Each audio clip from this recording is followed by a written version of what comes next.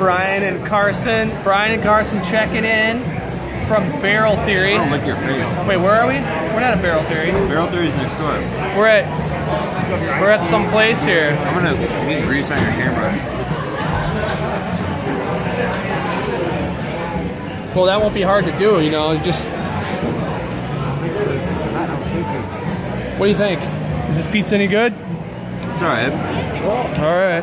It's lacking in the toppings, but it's okay. I'm getting a, Meatball. I'm getting a corner piece. Get a corner piece. Well, I gotta, I gotta give you. What is it with recording everything these days? With the, all the headphones, Woo! You know, Hot. I feel like our grandparents just had memories. Now everything has to be recorded. Well, you know, when you have memories, only the good things stand out. But when you have recording, even the boring shit, the bad stuff stands out. And a lot of times the recording comes out when the bad shit is happening, so you can't forget it. It's like you hold on to it, I take it, and I smash it. Ah. Pizza. Oh. of kill those germs. Hey, you know what? That'd be a good way to die. Someone power slam your face into a pizza when you're starving. So that Dude, I thought I was dying with my fucking uh, I think he's acid worn out. As you're dying, you can sit there and eat. You can taste the pizza as you're dying. Yeah, you went to the hospital. You sent me a picture of yourself. It looked really awkward.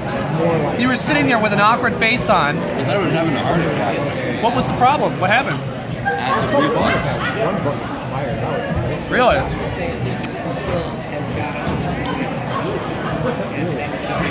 Man.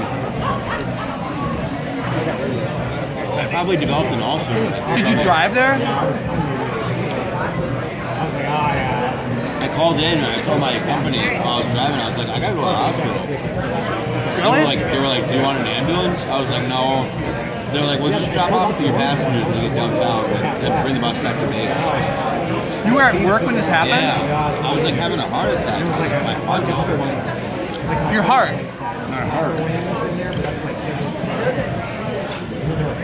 Then I went, I went. Dude.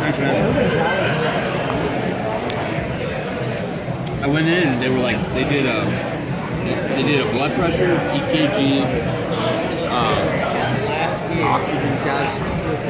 They did an X-ray on my chest. Everything came back normal. Blood work, the whole thing.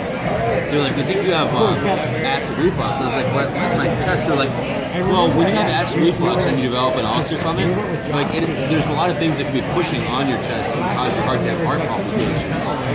I was like, really? And they were like, yeah, that, that's a very common thing for acid reflux, having heart palpitations. I was like, I was like, because it feels in my heart. They're like, yeah, it's because you have an ulcer somewhere from acid reflux. So they gave me this uh, um, omeprazole, which destroys your Omeprazole. Yeah, they gave me that, and it really helps a lot. Do you take it all the time or? Once a day Oh, you do? Forever? for 30 days. After that, I gotta change my diet. I gotta go. I gotta start eating more like salads and shit. I gotta stop all this this unhealthy, you know, bad shit that I No more pizza? No more beer? My renter, he went to the hospital for a checkup, and they told him, they said, hey, you're like, you're fucking dying because he's an alcoholic. They told him, you're dying. You need to change something. And he comes home with like two 24 packs of hard ciders, and he's like, ah. What And so, know? yeah. And I was like, well, this guy's gonna die in my house. That's not what I want. You should ask him for his social security number and then check out a life insurance policy.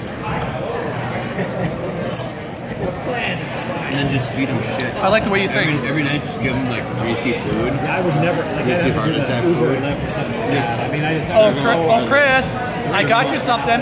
It's a bacon sandwich with butter. Get the most expensive life insurance policy you can Get the, get the with high premiums where you just pay it off and you know you can two months. Have Paul come over and polish sharp beers. Well, what? Invite Paul over so Paul, Paul can share, share bills with him. He'll be dead before you know it. He's got sleep apnea. You like hold his nose and like sleeping. I feel bad for the guy. I remember the first day you met him. I was there when he came over. Remember? Yeah. He smelled like Rumple Minze the first day he came. Basically, like, I asked him if he had any drug or alcohol problems. He said no. He seems like a nice guy. I talked to him. He's nice. He's all right. He likes Dempsey. He was having fun playing with her. I remember that. He's not a bad guy. Yeah, he's all right. He's just an alcoholic, No. a raging alcoholic.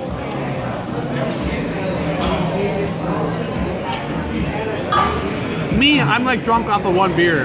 I'm like, ah, I had one beer. Woo! I go off the deep end. I can't drink too much or I go crazy. Oh yeah. There's some pizza right there now. Just good pizza. It's a good flavor.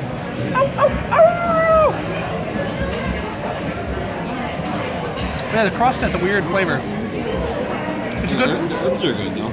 it's a good flavor, but it's an unusual crust.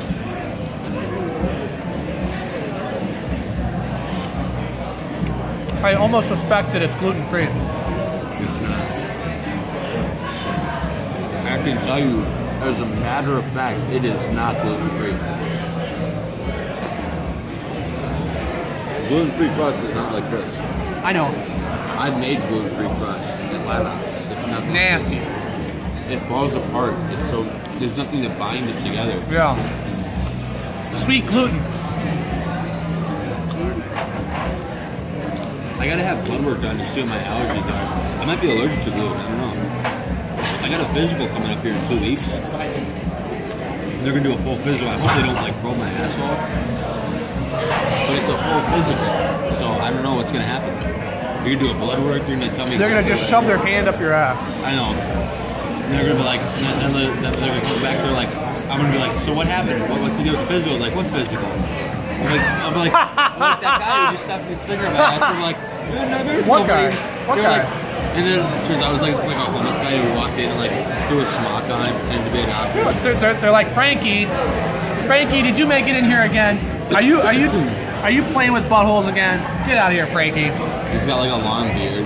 He's got like dirty yellow teeth. He's like, He's- I'm here for your friend of the phone. He's like, I, I'm sorry. They're like, it's okay, Frankie. Just get out of here.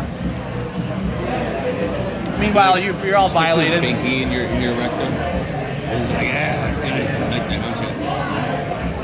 I'm like, did they feel irregular? I will- like, I don't know. I'll tell you something though. A lot of those doctors are creepy pedophiles like that. They are. I just had my DOT physical the other day. Now I was doing the math because I've had a lot of physicals in my life. I'm starting to think the amount of women who have touched my balls versus the amount of men are probably even. Really? With how many physicals? Clearly. I've had more women touch my balls than women or than guys. I've I never mean, had like hundreds of women. You know, I'm like at like like probably just over a dozen. So, and you, you think about how many physicals I've got a lot of physicals in my life. So I think I've had quite close to as many men touch my balls as I've had women.